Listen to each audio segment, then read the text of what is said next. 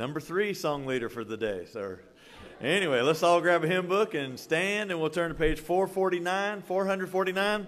Dwelling in Beulah land, we'll sing all four verses. 449. Far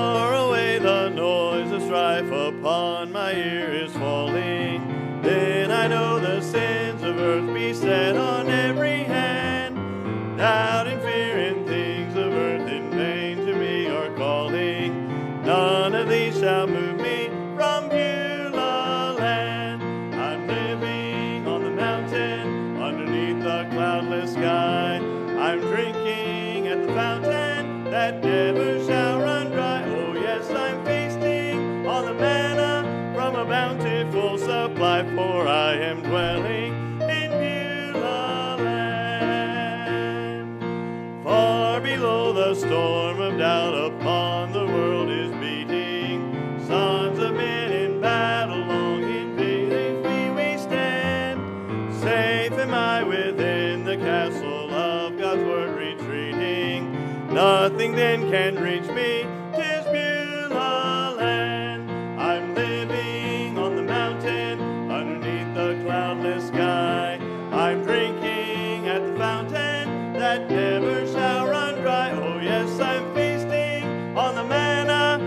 a bountiful supply, for I am dwelling in Beulah land. Let the storm of breeze remove the can, can I can't get the words going. And I'm safely down. Help me out here. Here and then the sun is all. I can't get it. You sing. Da da da da da da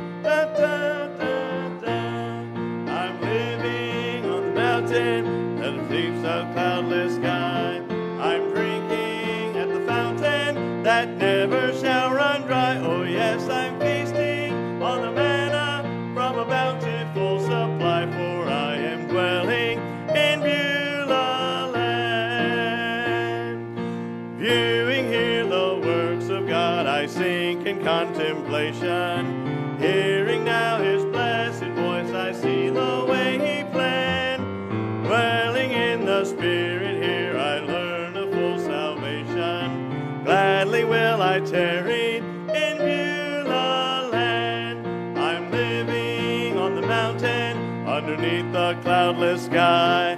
I'm drinking at the fountain that never shall run dry. Oh, yes, I'm feasting on the manna from a bountiful supply, for I am dwelling in Beulah land. All right, I think I should have looked over it. I don't think I've ever sang that third verse. Just like Brother Harris said this morning on that five verse song that he had been in church 40 years and never done all five. I don't think I've ever done the third verse, ever. It was first, second, and last, so my bad. And then apparently we used to do it way faster when I was the song leader, so sorry about that, Miss Tiffany. Oh, it took off. so, but anyway, we're, we're getting it done and uh, dwelling in Beulah land. I'm looking forward to it. And a great service this morning, and uh, had some returning visitors, and so that was exciting. And uh, all of us regular folks were here, and then we do have several that are sick. So let's remember them and pray for them that the Lord heals them up soon. So let's have a word of prayer, and we'll continue with the service. Lord Jesus, thank you for this day, and thank you for a great morning you gave us. Thank you for meeting with us. And Lord, thank you, Lord, for heaven and what we talked about this morning. And thank you for uh, your word, Lord, and revealing to us all the things that are about heaven. And God, Lord, I ask you to help us to, Lord, look forward to it, but uh, help us to do what we're supposed to do while we're down here. And Lord, I ask you to be with all the ones that are sick, touch their bodies, give them strength, give them healing.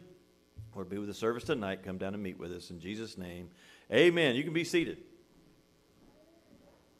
All right, go through our announcements real quick. uh, of course, our uh, April, we got our 13th and the 27th is our churchwide soul winning. Uh, the 16th, uh, the ladies' Bible study, of course, which is next Tuesday. And then 26th through the 27th is ladies' meeting in Evansville, Indiana. Hope you got all your information this morning. If you haven't, see Miss uh, Sharon for that. And then May, we got, on the 4th, we got our church picnic, and the 12th is Mother's Day. And then the 11th and 25th is the churchwide soul winning in May. And again, anniversary, uh, Chris and Megan. on April 7th, and then Brother Terry Harris' birthday on April 10th. I think that's it. Okay. All right, we'll stand again and we'll try it this time. Uh, like I said, Brother Harris, he said that he'd already celebrated his birthday uh, for this month, and uh, but his son Tyler, that was uh, those of you that helped me move, uh, that was his youngest son. His birthday's on the 10th as well, and then Tyler's son, oldest son, Phoenix, is on the 10th. So, dad, son, and grandson, all three same birthday. So, uh, I told them they ought to you know, write the news or call the news and get that story up. That's pretty cool, all three of them. But anyway, higher ground, page 327, 327. I'm pressing on the upward way. I'll try that third verse too again. Here we go. I'm pressing on the upward way, new heights I'm gaining every day. Still praying as I'm onward bound. Lord, plant my feet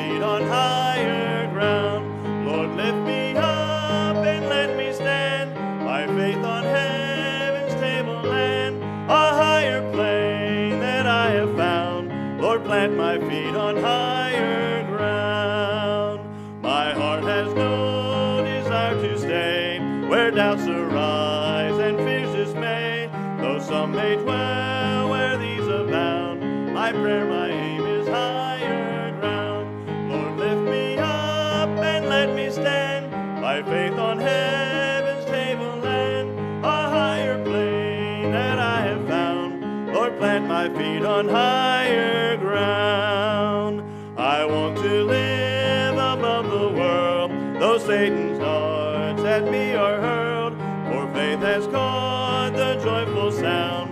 song of saints on higher ground. Lord, lift me up and let me stand by faith on heaven's tableland, a higher plane that I have found. Lord, plant my feet on higher ground.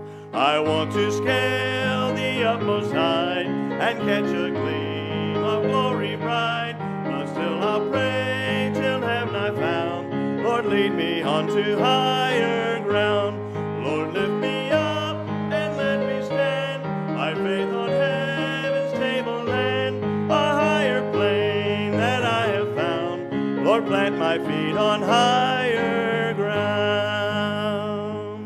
can be seated. Thank you.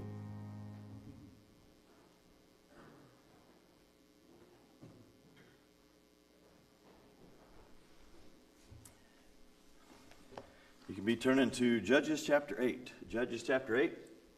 And I announced this morning that next Sunday we have the scary missionaries coming. And uh, I'm sure he's heard that a lot. And uh, they are scary. But anyway, Brother Terrence Scary, uh, he was uh, in the Bible college where my wife and I taught. And uh, sharp young man. And uh, they're going to the mission field. And so they had stopped by sometime at the end of the year last year or the beginning of this year and we scheduled uh, to this coming Sunday, the 14th, for them to be with us so he could present.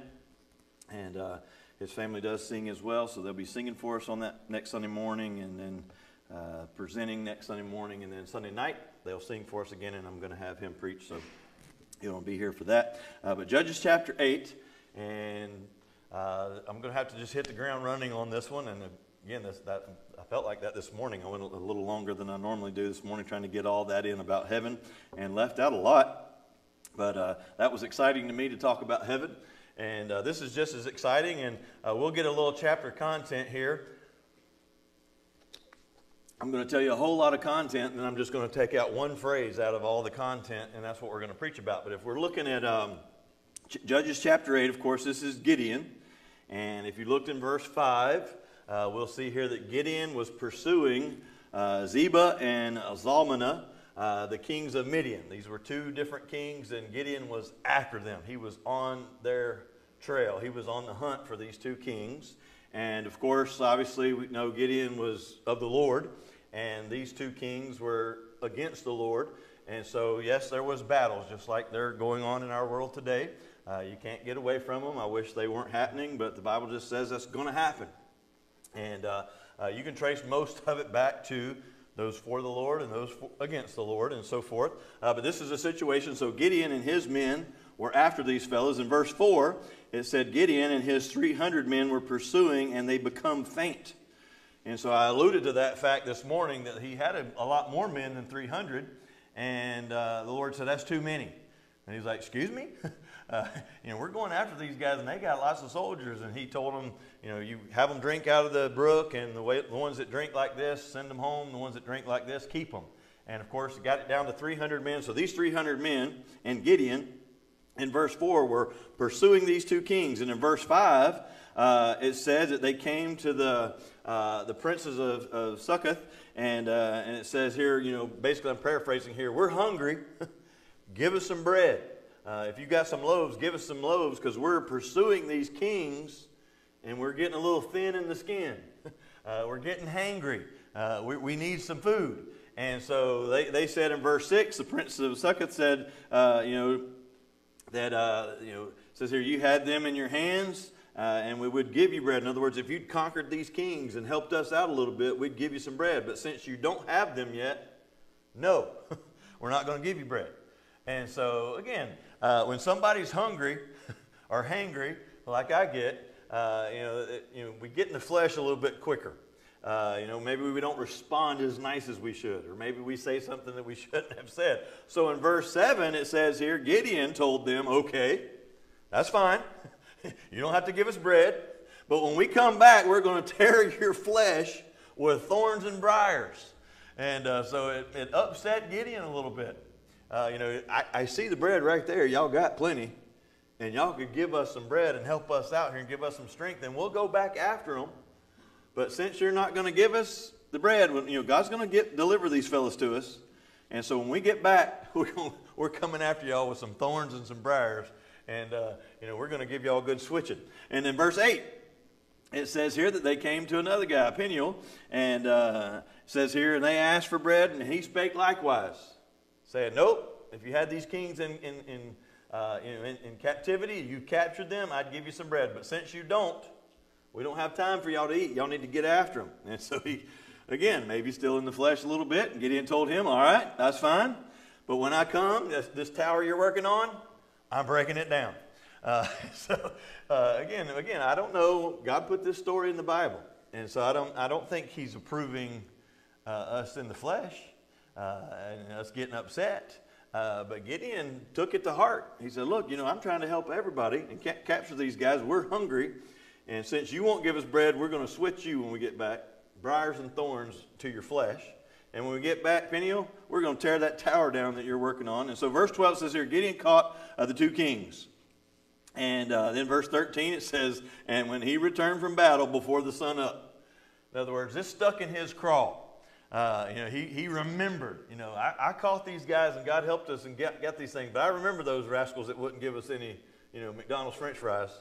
And uh, they wouldn't give us any, you know, Happy Meals or anything. You know, so I'm not stopping. Since we've got these, let's go.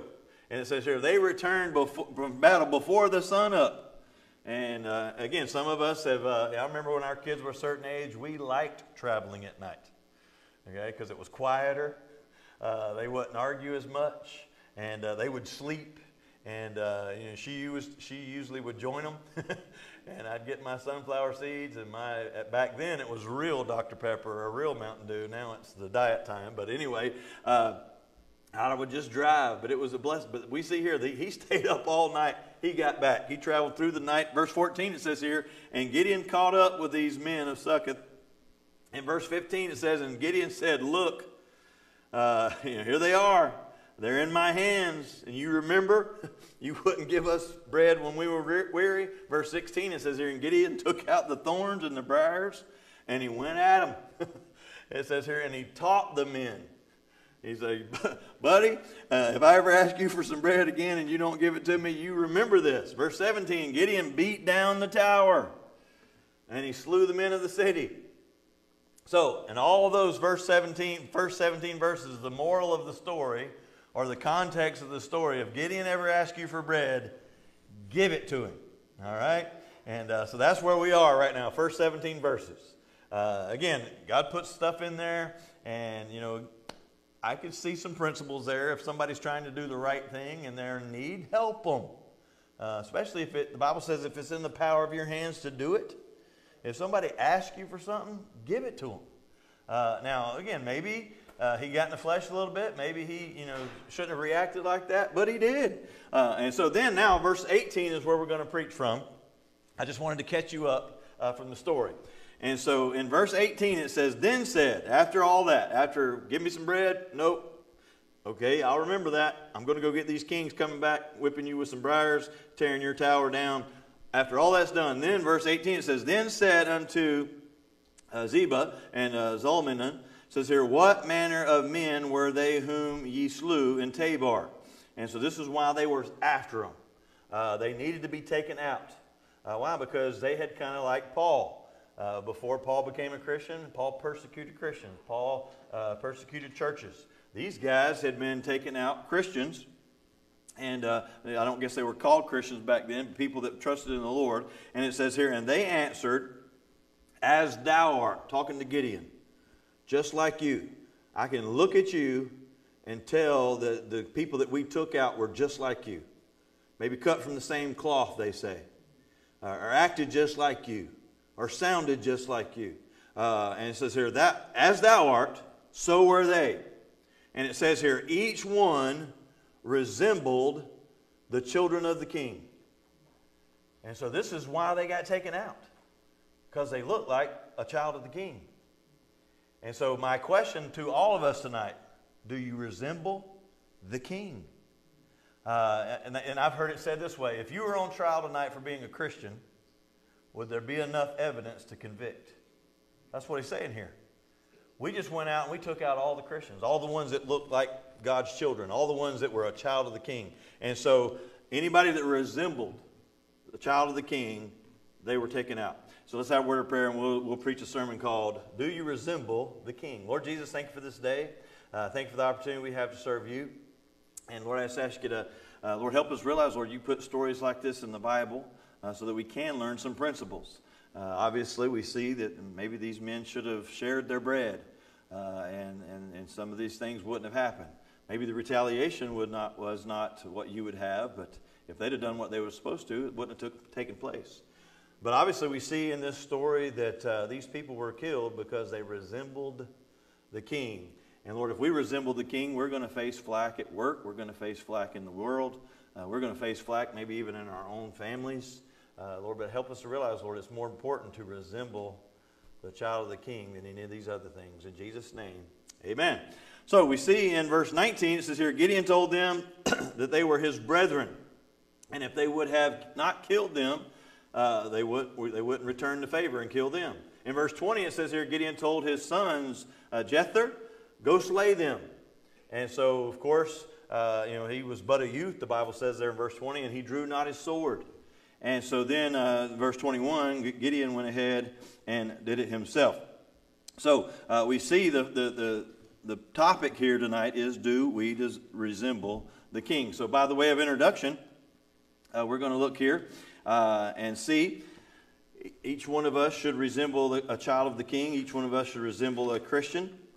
And, and look, act, sound, all this kind of stuff we're going to look at and see what the Bible says. But each one of us are to re- uh, resemble the child of the king. The Bible says in Revelations 19 16 that Jesus is the King of kings and the Lord of lords. And so there is no higher king and there is no higher Lord than Jesus Christ. And so I'm laying the foundation here that he is the King of kings.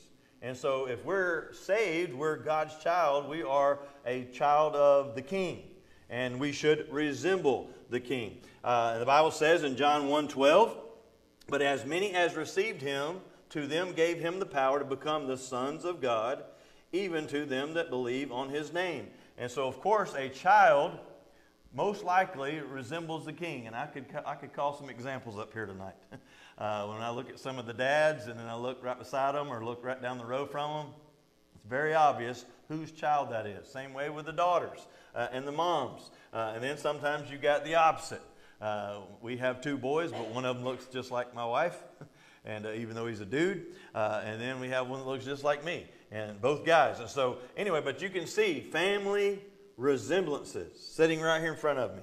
and uh, pictures on your wall at home, you could see the family resemblances. And that's what he's saying here that God gave us the power to become the sons of God, the children of God, and we ought to resemble our Heavenly Father. So I'm a child of the King, and uh, I sing that song. And uh, I, am excited about it when I sing it. That I'm a child of the King. I'm proud of it. And I hope I resemble him. I hope that when people see me, they see him through me. Uh, and again, we ought to take pride in that. And that's exactly what took place here uh, that these guys were killing anybody that resembled a child of the king. So, as by way of introduction, it says here, Do we resemble the child of the king? Uh, and of course, I've already used that analogy about the uh, Christian. If you were on trial for being a Christian, would you have enough to, to convict yourself? And the word resemble here means to be like or to be similar, similar to. Uh, there ought to be some similarities uh, if you are related, if you are a child of the king. Uh, Strong's Concordance, if you look up uh, this word resemble uh, in the book of Judges, uh, in the Hebrew translation, it basically said according to form. In other words, it was, you know, of course, if you had a mold, uh, and you were putting something, maybe ceramic or maybe jello or, or, whatever kind of mold that you could have. I guess they have metal out there, uh, mold. Uh, when you put that mold down, you expect it to look just like what's on the underside of that mold. And if, you know, if you're going down there stamping things out and all of a sudden one doesn't look like it, it sticks out. Oh, that one's messed up. that one doesn't look like it was created. And so uh, let's move it. So we ought to resemble. So we see here having a trans, uh, the translation according to form. Now the Bible does talk about that, that you can have a form of godliness, but you can deny the power thereof. So I say, in my translation here, have the form of godliness and the power thereof. Uh, it's not saying, okay, you can have all the power you want, but just forget about the form. No, we're supposed to have the form. Uh, we're supposed to resemble the king. And so there's a lot of people out there today, they work on the form. Uh, they get the KJV under the arm, uh, they get the Baptist sidewalls. Uh, they get the you know they get all the Baptist garb on and things like that, and they've got the form, and they even say Amen, and they go to where they're supposed to be. But if they're not saved, they've just worked on the form, but they're not really related. But so it's not saying here, you know, just have the power and don't worry about the form. No, we need both. We need to have the form and the power. So, second point under introduction, we do we bear family resemblances? Do we bear family resemblances? And so, there's probably in this room right here some family resemblances. And uh, the, I guess the biggest one that pops to my mind, and I don't need to word, use the word biggest because you'll get offended. But uh, my daughter in law, uh, I guess her mom's maiden name was Hackenberg. Is that what it is? Hackenberg? Hackenberger. Oh, burger like you. Hackenberger. All right. So the Hackenbergers have a very, very distinct nose. All right. And I won't say it's big, okay, uh, but it does have a unique shape uh, and, and, so forth. And so uh, as the kids grew, go through there, and there were several twins in that side of the family, things like that, but they all came out with the same nose. Up, oh, Hackenberger nose. Hackenberger nose. All right. Very similar.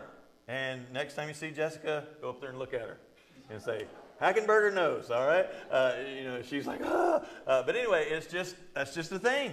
And maybe you have that in your family. My, my family, uh, on my dad, uh, I guess one uncle didn't. He got his hair from his mom. But my, my grandfather, my dad, and my Uncle Tony, and my dad and myself, we all have the Stanley hairline, all right, receding all right, and, uh, and so forth. Uh, so it just happens. It's a family resemblance. Uh, then, so you have noses.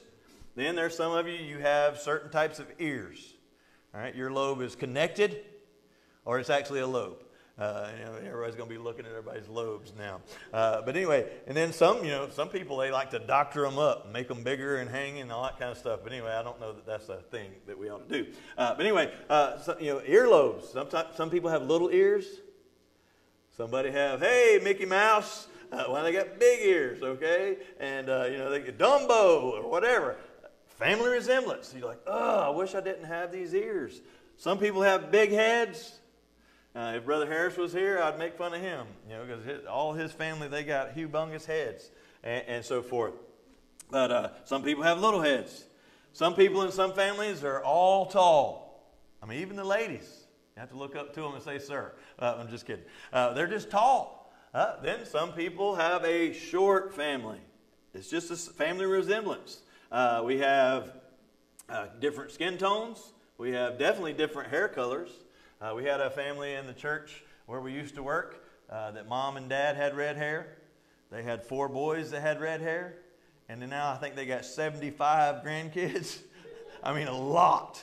Uh, and they all have red hair. I mean, they had this one family picture, and I mean, I don't know how they got them all in there. All right, but it's just red hair everywhere. Amen.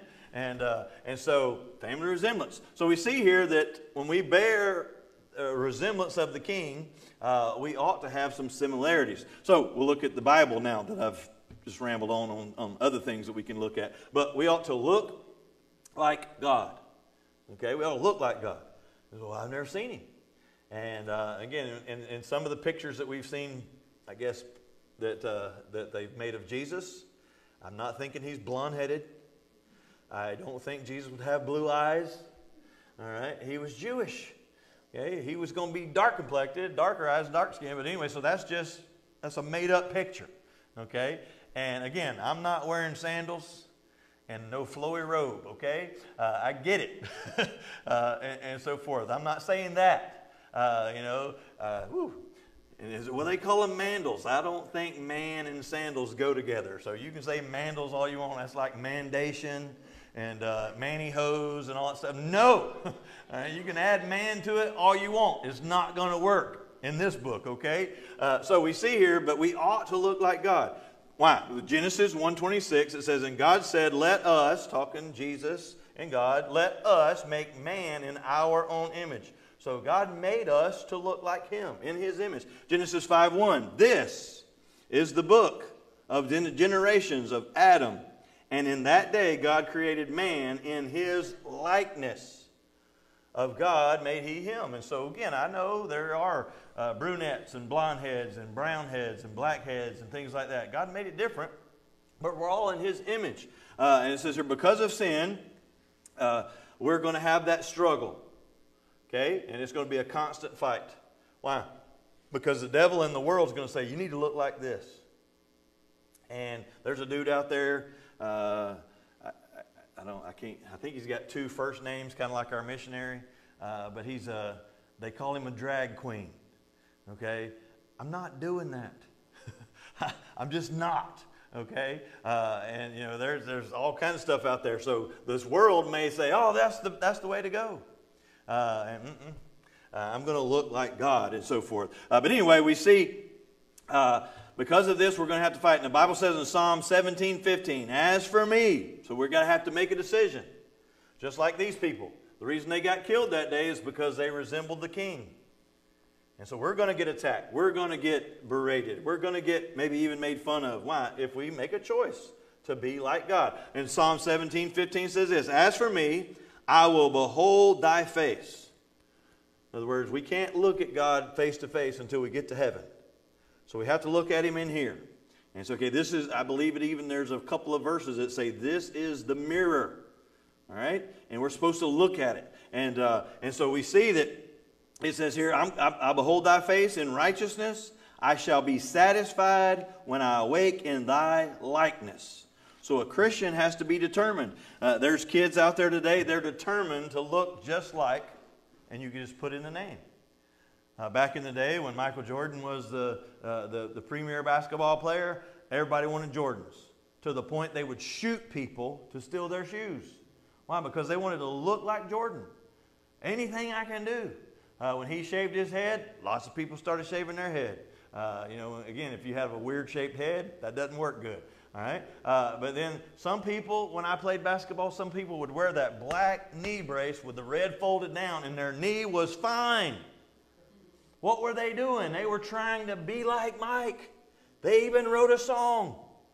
Okay, and then again, you can take that and go any movie star you want to think of, any uh, athlete you want to think of, and they're, they're, they're so focused that I won't be satisfied until I awake in that person's likeness. But the Bible says in Psalm 15, 17, we, we won't be satisfied until we wake in God's likeness.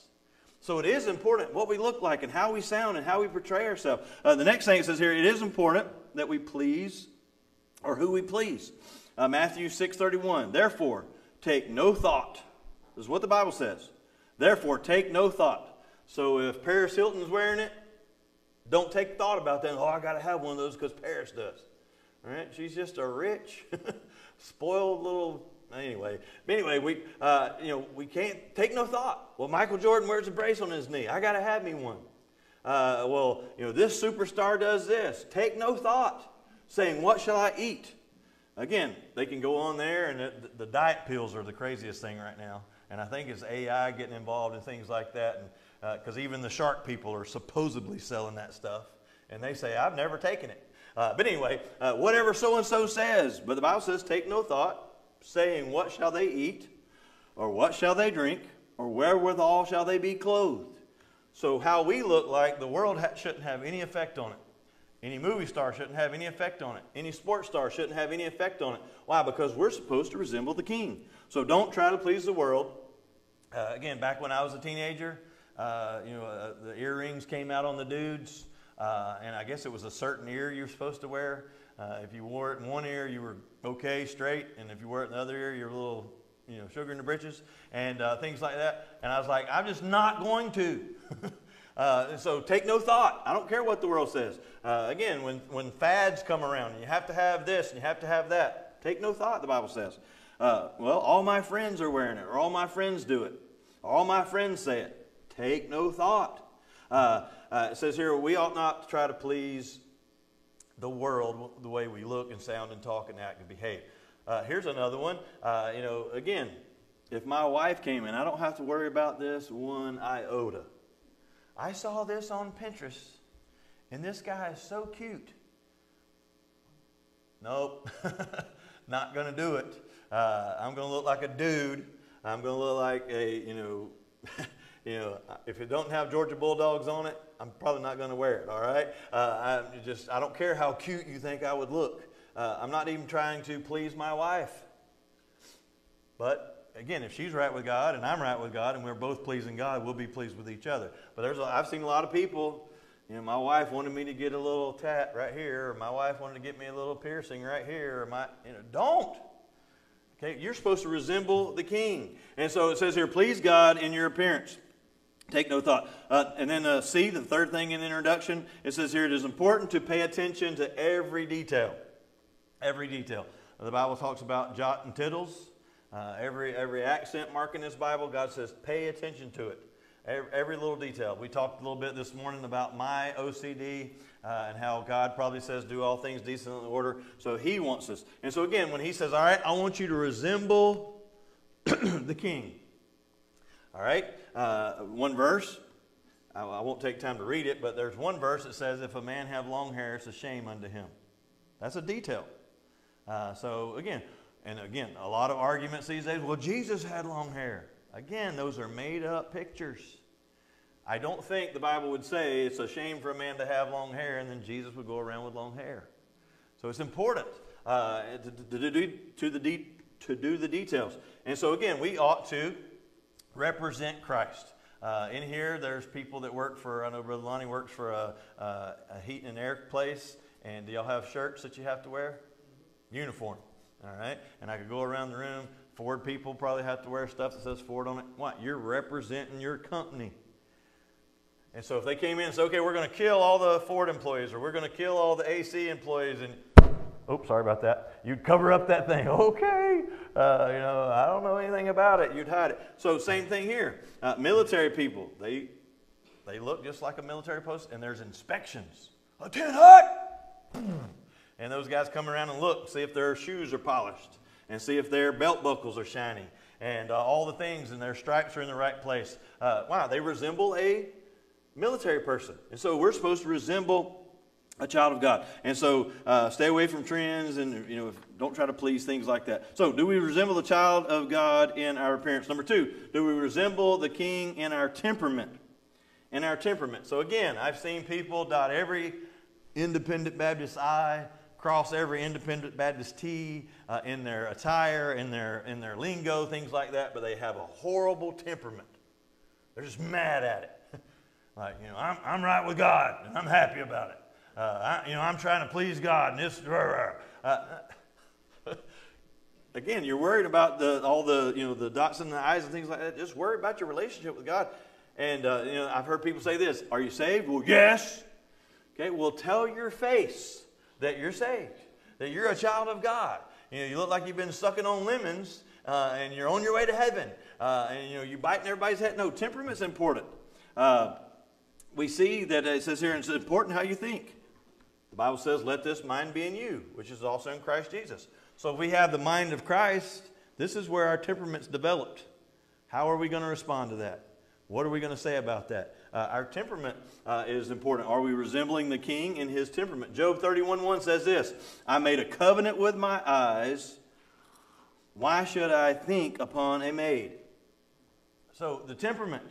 Uh, he had made a covenant with his eyes and said, I'm not going to even think on a maid. Why? Because I want to represent the king. Uh, I want to be a child of the king. Uh, Matthew 4 9 says this, and Jesus knowing their thoughts. Uh, it's important how we think.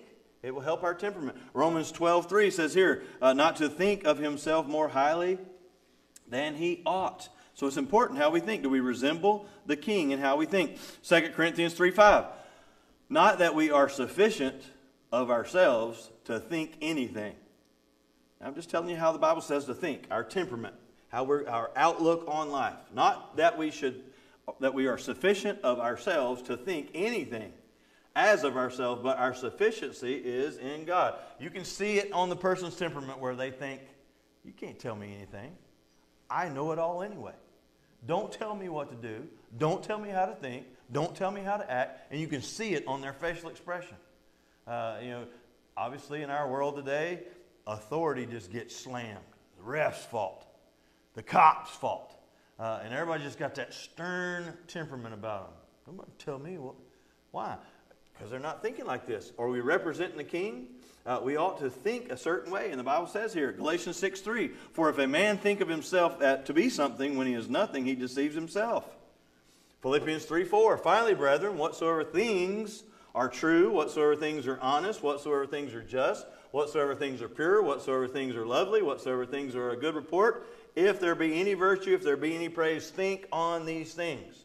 So our temperament uh, should also represent the king. So our look should represent the king. Our temperament should represent the king.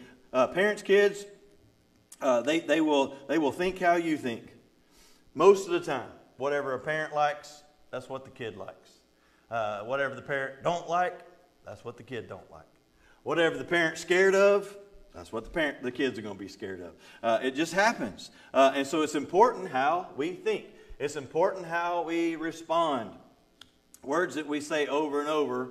Hopefully, they're not curse words in this room. All right, but there are some words that we say over and over. Uh, and then you know, there's those Christian curse words out there. Uh, and again, I won't give you a list of them. You know, shoot, dang, uh, heck uh, all those things. And, uh, you know, basically what we're doing, we're just kind of tempering the, the real words uh, and, and, so forth. But it's important how you respond. Um, I think I've told this story in here, but we had my, my little niece, what was she, three years old? Taylor? She's about three years old. She comes in, and my dad asks her something. Says, Hey, Taylor, do you want? And she goes, Shoot, yeah. And they're like, What? And she said, What'd you say? I said, Shoot, yeah. I, I want that. And uh, you don't say that. We're not supposed to say that. And uh, where'd you hear that? Uh-huh. And so her dad walks in the room, you know, and he gets asked a question. You know what he says. Shoot, yeah. All right. Uh, and so that's what they do. They pick it up. Uh, why? Because they will resemble their parent in what they say, the way they think. Again, that's why we need to be like God in our look and even our, our responding. And so uh, our emotional uh, movements. You know, there's some people that they have emotional movements. You go, what is even that? Anybody ever done that to you? You're kid, young lady, you go in, hand on the hip. And where has she seen that? And you ask the mom something? so we got to be careful. They're going to resemble us. Uh, you know, some of us, you know, we punch things. You know, wham! Uh, you know, it's, it's okay to punch a sheetrock wall as long as you don't hit the stud. then you're going to break your hand. Uh, you know, if we hit things, what is our kids going to do? They're going to hit things. If we, uh, man, clap our hands together, what are they going to do? They're going to be in the nursery doing what we do. They're going to resemble us. Uh, tapping that foot. When are we going to go? You know, and again, I know that these things aren't wicked, but what I'm saying is that our kids are going to resemble us. So we are supposed to resemble the king. Act like Jesus would. Hand on the hip. I don't think Jesus would look like that.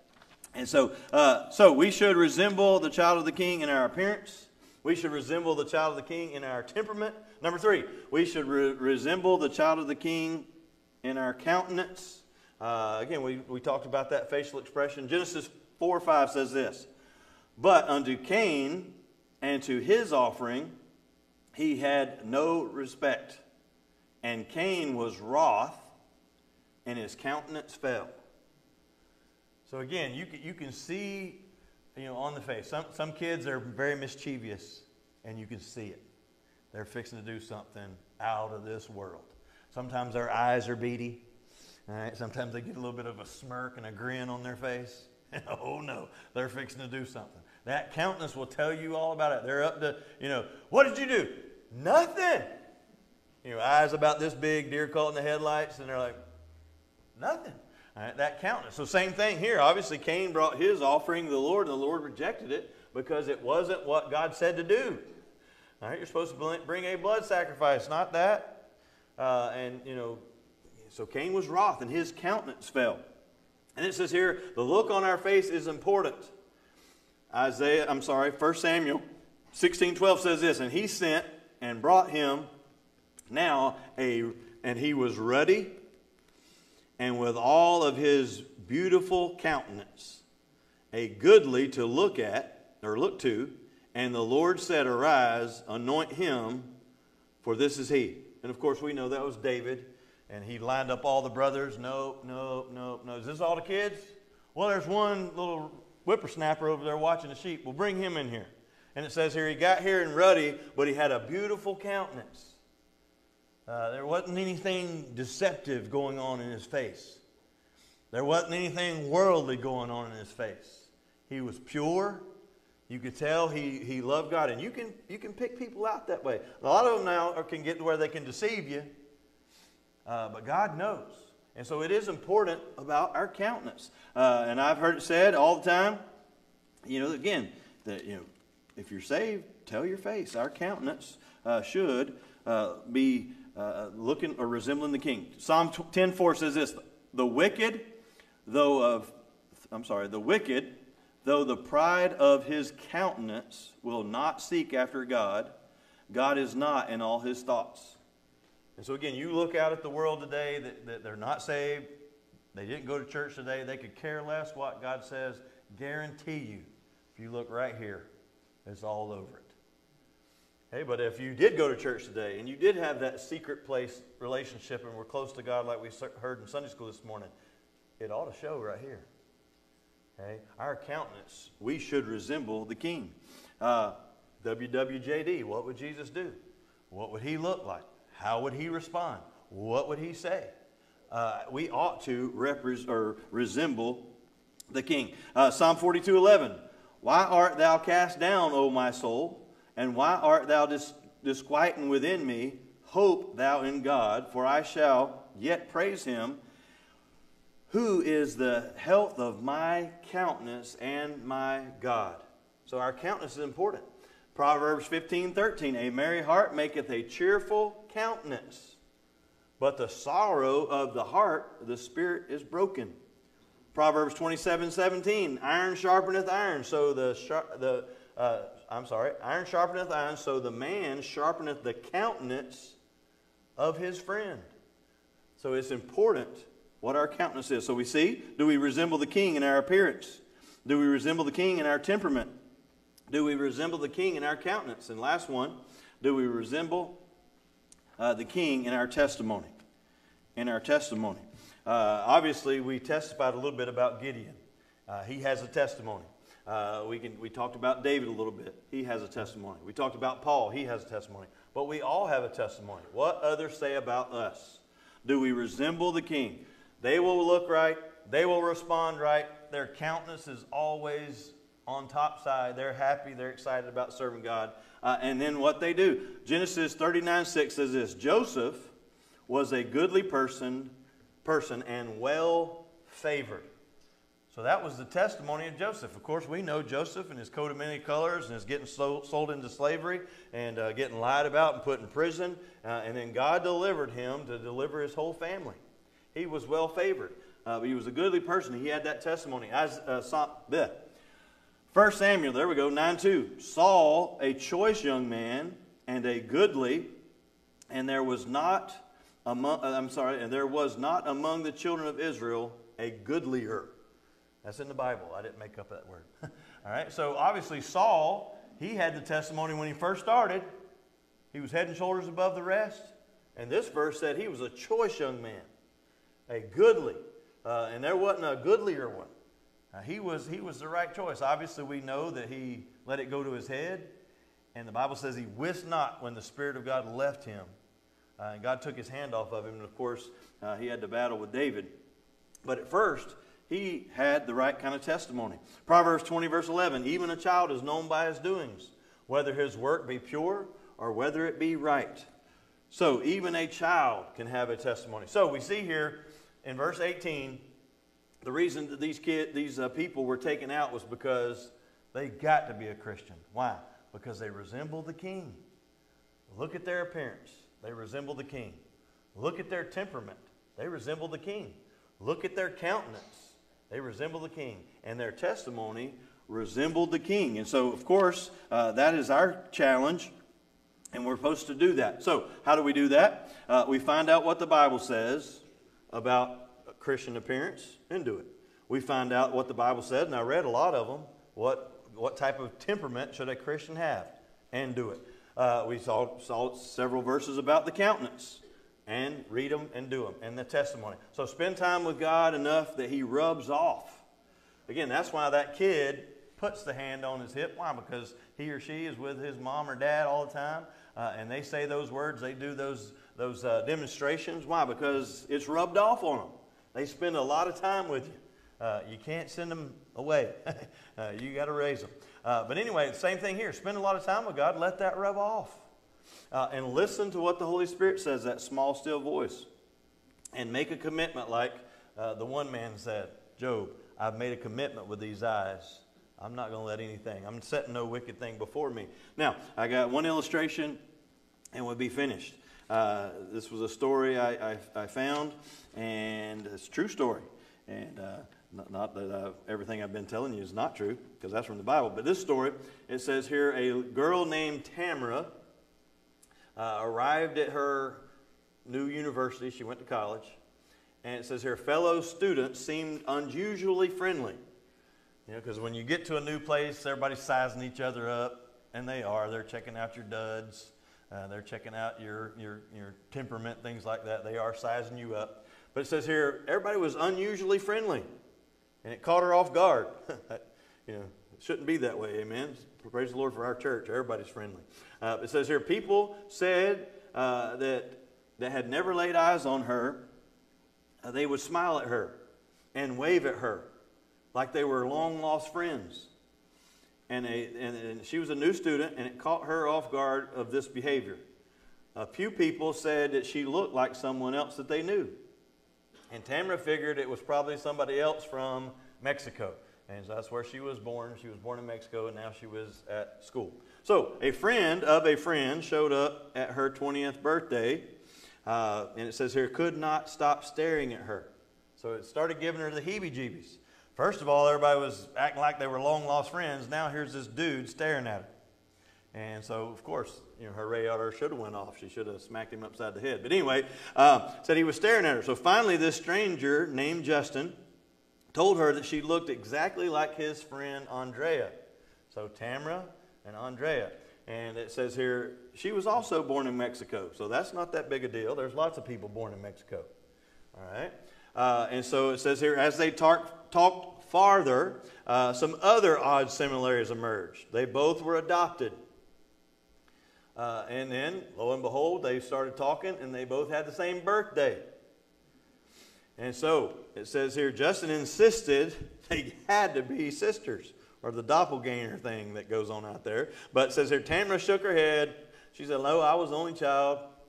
And uh, so he says, You know, I got to introduce you to her. And so she agreed. It says here, thus uh, began unfolding a real life fairy tale. Andrea raised a Roman Catholic in a house with a picket fence in the valley on Long Island.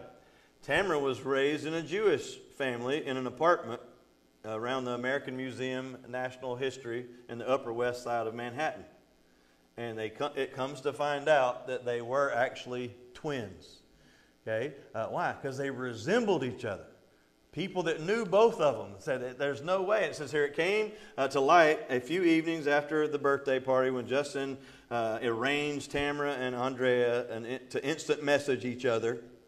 And as soon as they discovered uh, that they were both from Mexico, they were both born on the same day, they were both five three and three quarters inches. Uh, and then it goes on to talk about that they both used Pantene, Pantene shampoo. Uh, there was a lot of similarities uh, even though that they weren't raised in the same house. Uh, and it says here over and over, uh, minus the small birthmark on Tamara's eyebrow, they were identical twins. Uh, and it was obvious to everybody else, not to them. So we see here similarities. Ten, uh, these twins agreed to meet the following uh, week at the McDonald's. Great place to meet, I guess.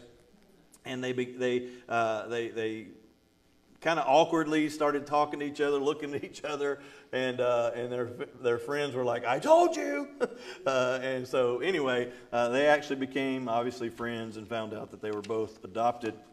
Why? Just because similarities. So when somebody sees us, you got a twin sister? Probably not. All right. But how about this? Are you a Christian? It should be that obvious. That's what he's saying. These guys were killed because they resembled the king. Got to be a Christian. And so, is there enough evidence to convict us being a Christian? Lord Jesus, thank you for this day and thank you for the opportunity we have to serve you. And Lord, we, we appreciate you putting this story in the Bible that these people were actually uh, taken out because they resembled the king. And Lord, we know that the Bible says that you're the King of Kings uh, but of course, we saw many, many truths tonight that the Bible says that we ought to represent you just like we would represent uh, our company. We ought to represent you just like we would represent our family.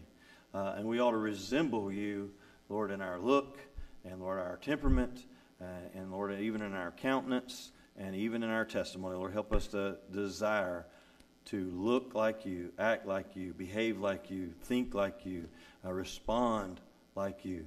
Lord, I want to resemble you in every way. Let's all stand. Uh, Miss Tiffany's going to play. Altar is open. If you'd like to come pray, ask God to help you to resemble Him, resemble the King.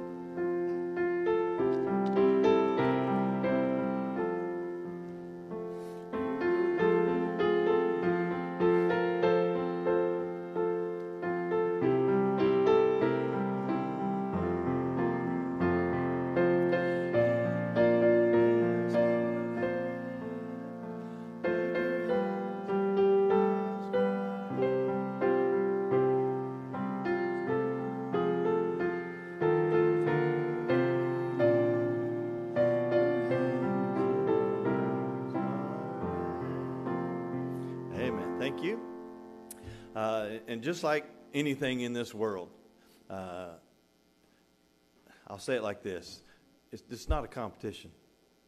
It's not who can resemble him the most wins. Uh, it's just an individual thing. I'm supposed to represent and resemble God. You're supposed to represent and resemble God. And it's between you and him. Uh, and so that's where a lot of people they get into a competition I read more Bible than you. And if you're trying to read more Bible than the next person, you're losing your reward. Just, just don't worry about it. Read Bible. Well, I'm going to look more like God than you look like God, and that makes me a better Christian. It's not a competition. All right, it's all an individual thing with you and God. So just like Uh, I've told uh, when I preach about salvation, uh, if it's uh, you got a question about that, you can see me privately. We're not trying to embarrass anybody. Same thing. Got any questions? I'll help you find it. Uh, and again, I, I've just decided in my life, God, I want to represent you in everything and resemble you in everything. And that, that should be something that we all desire. Uh, and just please Him. Again, it's not a competition. Amen. All right. So let's see here. Brother Dave, you dismiss us in prayer.